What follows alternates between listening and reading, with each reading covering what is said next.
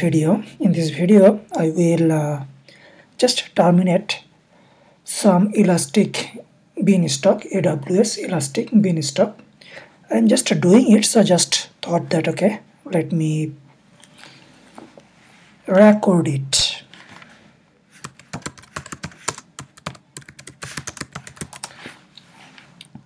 So this is the two elastic beanstalk application I will uh, just uh, delete them. Actually there are two concepts. One is delete another is terminate. You can see the delete option here.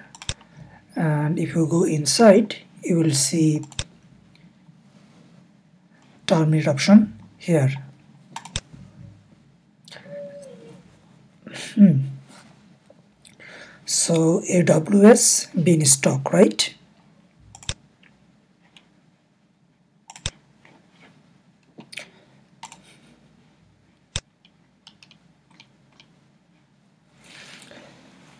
Okay, what is Elastic Beanstalk? Okay, as I'm deleting it, probably can say what it is. Yeah, you can read from here getting started using Elastic Beanstalk or what is AWS Elastic Beanstalk. You can just search what is AWS Elastic Beanstalk and Google will give you a good answer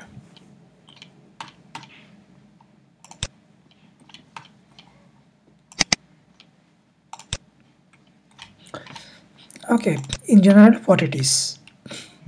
Let's see if you want to deploy your applications on AWS platform uh, if you want to do it uh, in a very good way scalable format or with the load balancing with many other platform appropriate configurations if you want to do it on your own yeah you can for sure do it and you can customize it and you can uh, create a better environment or, or a perfect environment but sometimes it can be lots of tasks you can rather depend on AWS Elastic Beanstalk you will deploy your application through Elastic Beanstalk you have to uh, your stuff and you have to give some basic information about your application and what it needs and then rest of the infrastructure configuration and whatever services it needs it will uh, mm, take it and manage it and create a standard uh, deployment platform for your application and deploy it. Yeah. Anyway how to use elastic beanstalk or use cases or those I can show at a later time. But at this moment I'm just uh, trying to delete or terminate my environments for some reason. These are some demo environment so, just thought to record this. Let's see my first beanstalk terminate terminate.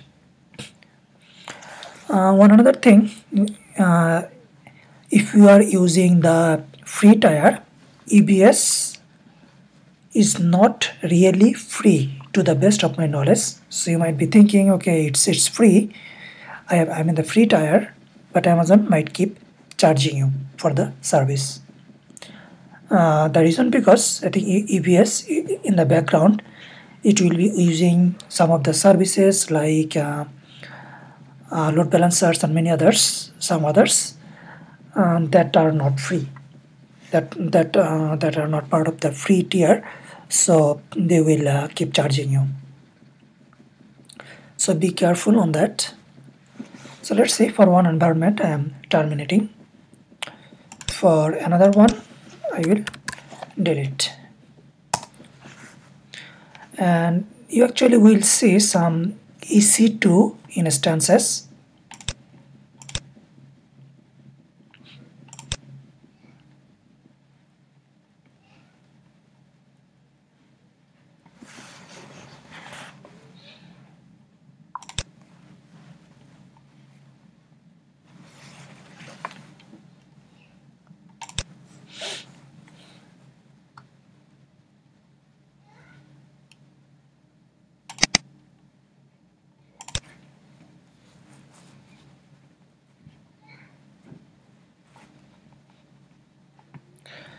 so for the EBS uh, in general it will also use some instance EC2 instance in the background.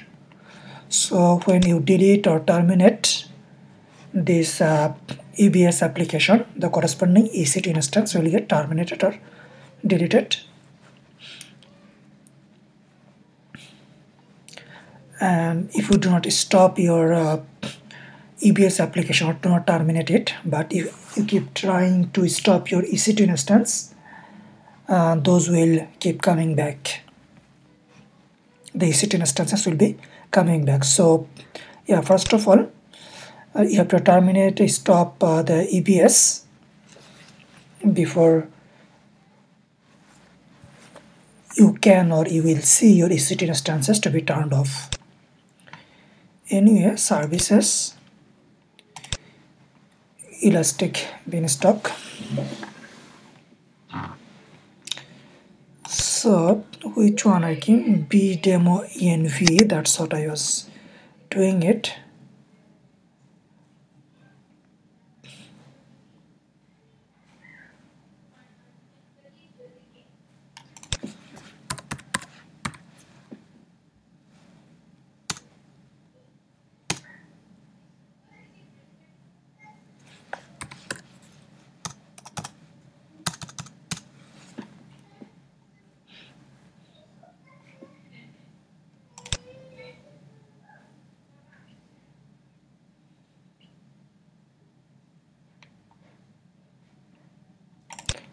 okay we can also terminate this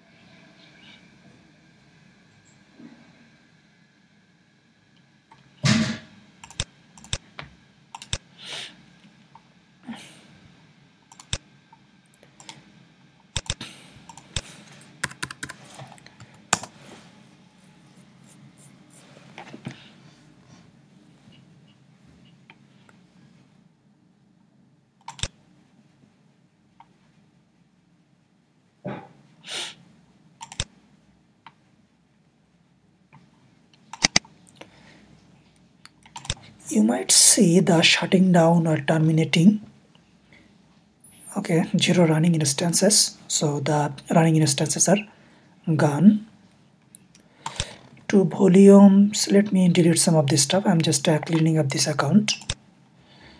So volume means the EC2 instance. They use volumes in the back to keep data. You can attach detach volume from one instance to another instance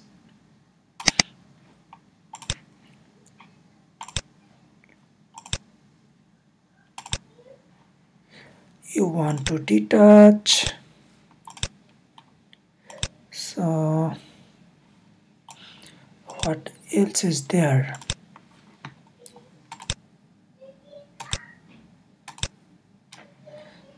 So is it being used state available? If there is any attachment okay it's not attached to anything. So let's see yeah delete.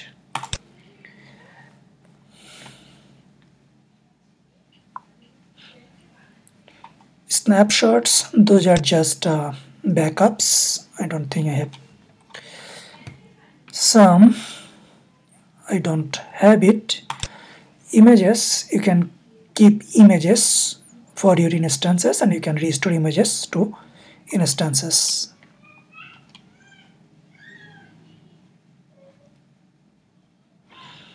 security groups for a particular instance. You can assign a security group. You can control if it can it is publicly available or do you allow SSH to it. Those kind of security groups I think when you create some instance it will allow you to create a security group as well or you can create security groups separately and you can attach security group to instances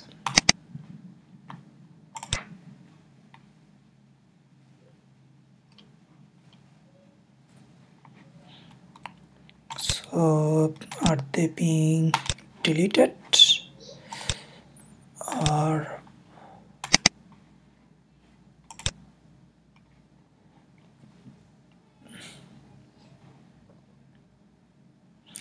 okay default and public.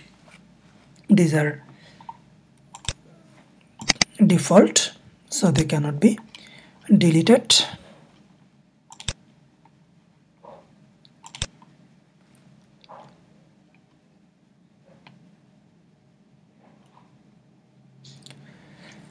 so one key pairs it's for remote access or SSH access.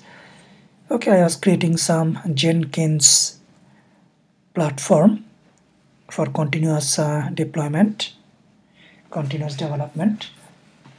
Just a sample. Anyway for now I will delete this because I already deleted the corresponding applications and instances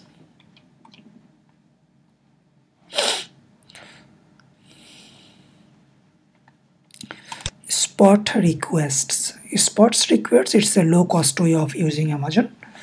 They probably you will get service for the residual stuff not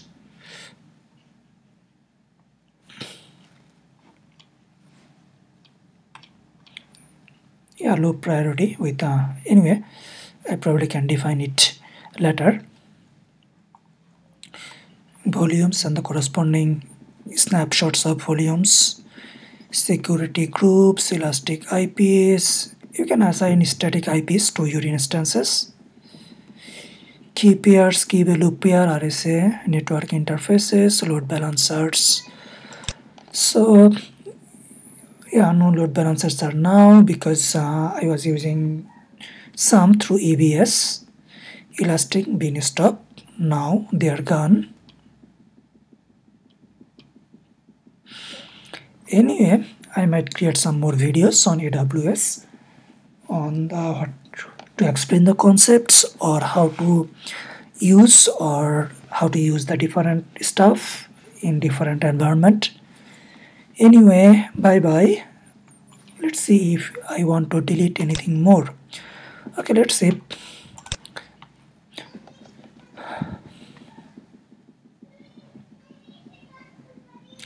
S3 is for storage.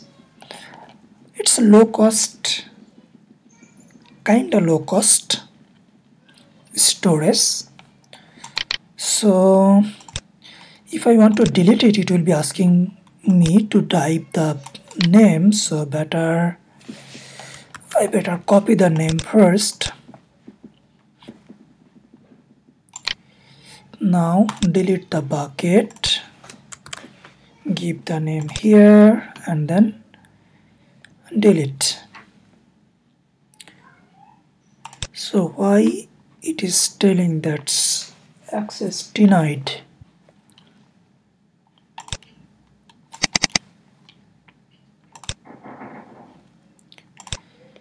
S3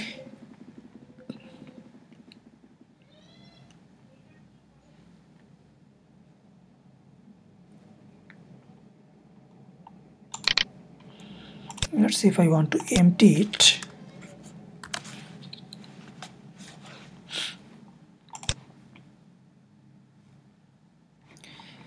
Okay it was done empty. Let's see if I can delete it.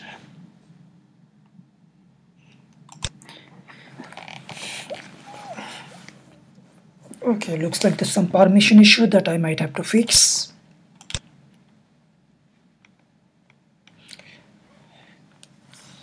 commit, code build, code deploy.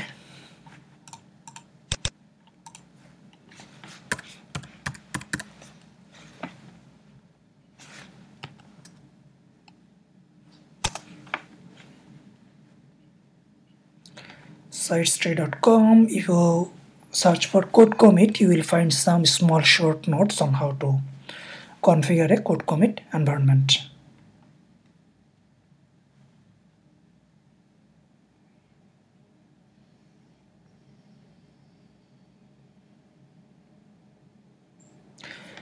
anyway I can stop here but I probably should say who I am right? This is Said from Toronto Ontario Canada. I work primarily as a consulting contract web technology database BI so yeah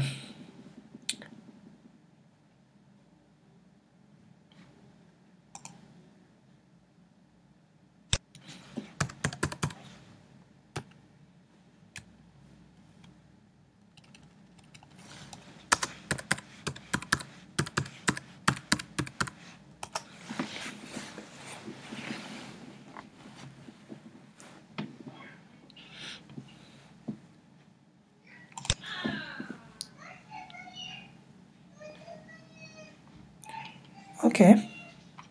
That's me.